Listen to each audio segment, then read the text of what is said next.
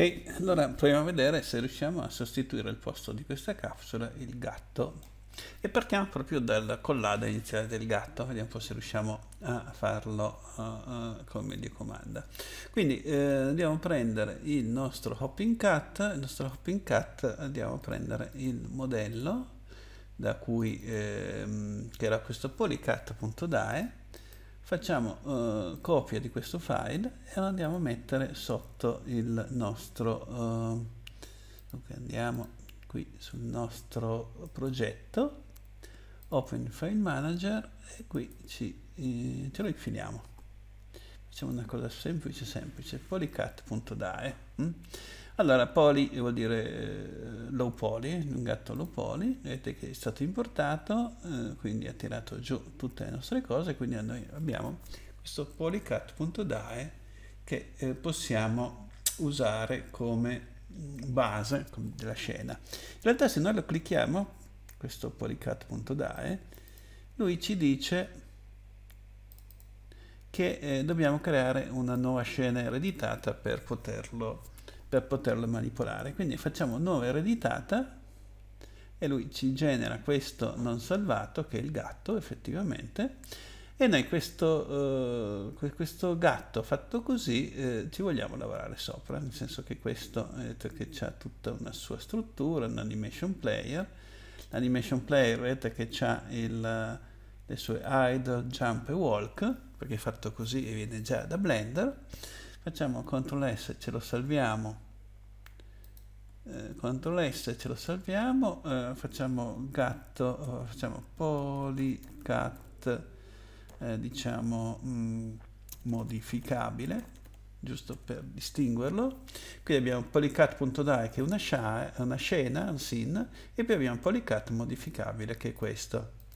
Ora a questo punto andiamo nel nostro player. Il nostro player vedete che ci aveva um, player tscn che se andiamo a vedere ecco aveva la capsula. Ora al posto della capsula e della collision shape che eh, in realtà non ci, non ci interessano perché noi vogliamo vabbè, la capsula potrebbe anche rimanere la collision shape ma la capsula vera e propria no. Quindi prendiamo questa la eliminiamo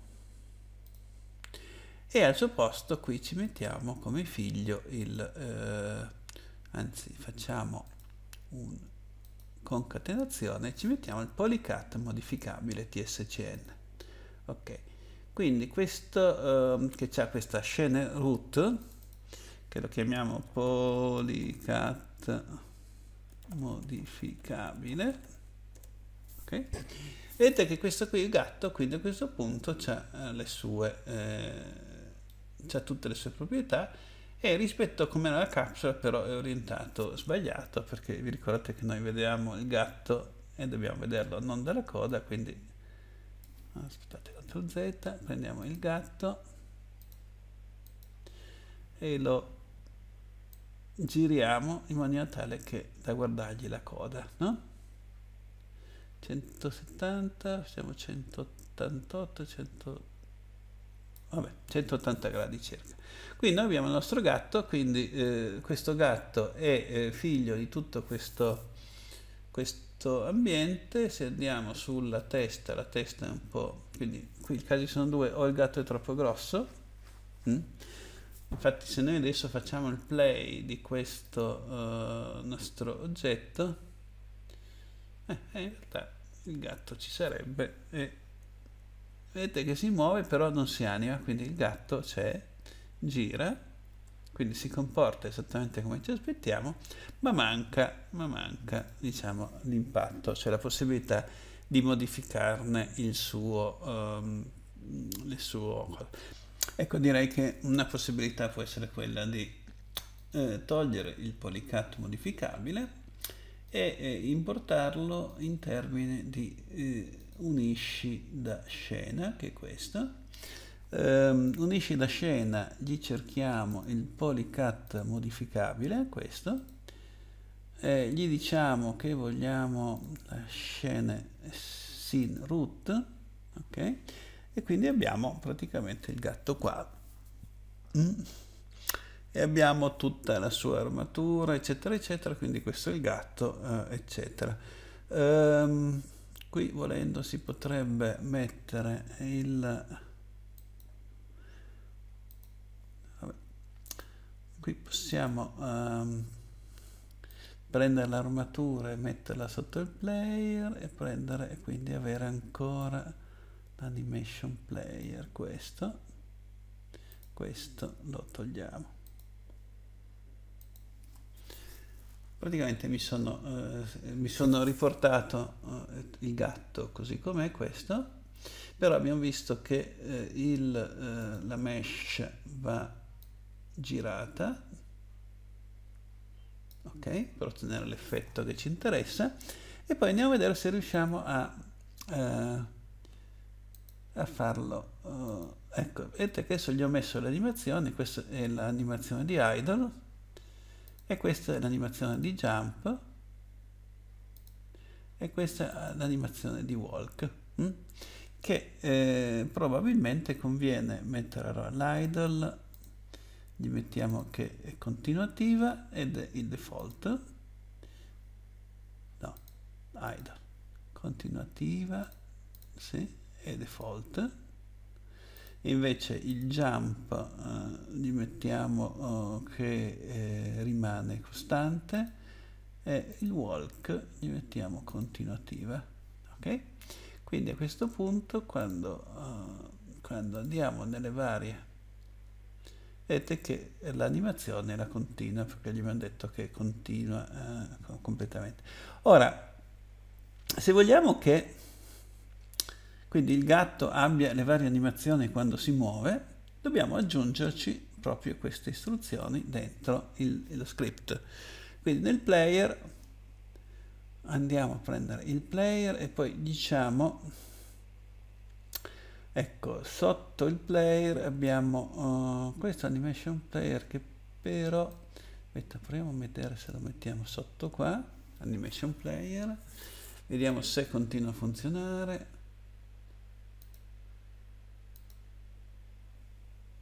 no per questo funziona solo quando è sotto l'armatura. Quindi qua direi che funziona. Idle ok. Quindi adesso così funziona. Quindi noi per far eh, scegliere l'animazione dobbiamo avere un puntatore a armature animation player. Quindi ce lo prendiamo qui facciamo uh, on ready var anim uguale dollar. Armature slash animation player quindi abbiamo anim vale quello e poi dobbiamo mettergli i vari cosi. Quindi cosa succede? Che qui quando non fa niente quindi quando è fermo e quando è fermo lo potremmo uh, vedere eh, tendenzialmente qua. Quindi se if facciamo move vec uguale vec, eh, vector 3 di 0, 0, 0 quindi vedete che praticamente eh, qui non si è premuto nessuno delle, eh, delle sue cose. Allora facciamo anim anim punto anim era sì era anim però anim punto dobbiamo mettere animation. Ah, non ha, eh, ah, dobbiamo mettere uguale doppio. Al 39 no uguale. Allora anim punto e ci chiede animation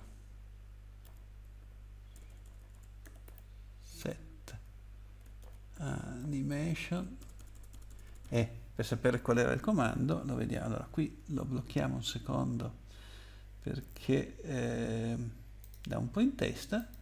Torniamo sulla, eh, sul nostro originario in cui faceva delle animazioni. E lui faceva un play anim quindi ah, faceva un play anim e anim.play quindi c'era questa funzione che gli permetteva di lanciare un'animazione. Quindi questo script ce lo prendiamo, lo mettiamo in fondo, questa funzione, play anim, anim ok, quindi dovrebbe funzionare in teoria, quindi facciamo play anim e poi il nome dell'animazione che vogliamo. E questo diventerà play anim e poi idle. Mm? Quindi se fermo in teoria dovrebbe suonare quella animazione. Facciamo il run di questo uh, nostro coso e vedete che effettivamente il nostro gatto, essendo fermo, fa quell'animazione. Se muovo con la freccia non fa niente perché dobbiamo mettergli l'animazione corrispondente. Quindi se è fermo diciamo che è idle, altrimenti uh, dunque possono succedere due cose, e cioè che sta saltando e allora facciamo l'animazione di salto quindi eh, allora lo facciamo magari questo qui lo riportiamo CTRL X e lo riportiamo qua sotto. Quindi questo sarà fermo ok. Ma se per caso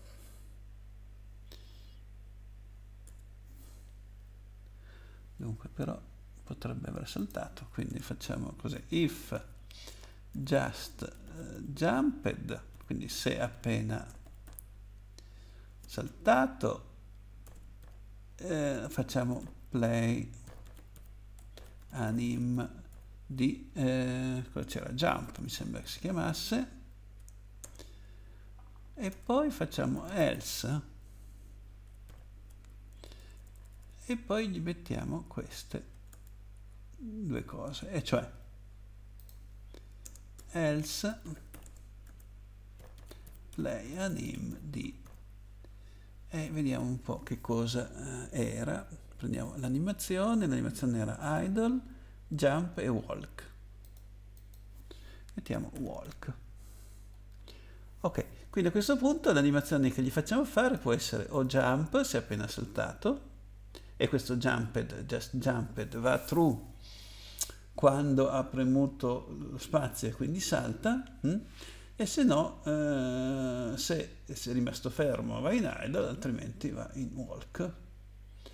E direi che potrebbe funzionare, quindi se noi facciamo il play di questo, dunque due punti, play, a lui sta fermo, se andiamo indietro e se andiamo avanti e se saltiamo vedete che fa cambia un po' l'animazione la cambia poco ma è comunque il concetto è che, eh, che si capisce un pochino hm? quindi eh, direi che con questo abbiamo visto come introdurre eh, il nostro collada dentro il player, vedete abbiamo fatto un pochino di navigazioni, abbiamo messo, eh, siamo partiti dal nostro polycat.dae collada, l'abbiamo importato in termine di una scena modificabile, poi questa scena modificabile l'abbiamo inserita qua dentro poi abbiamo fatto un pochino di trasformazioni. Uh, la collision shape in realtà gli abbiamo lasciato la shape uh, che c'era prima che in realtà non, non sarebbe il massimo quindi eh, perché collide solo in basso però in questo caso potrebbe funzionare in quanto eh, è ehm, ehm, insomma cioè dove tocca che collide però se volessimo farla bene possiamo prendere questa collision shape e eh, prendergli il dov'è? Questo? No la scalatura se no prendiamo CTRL Z dunque collision shape che questa la uh, scaliamo qua in modo tale da renderla un pochino più ciccia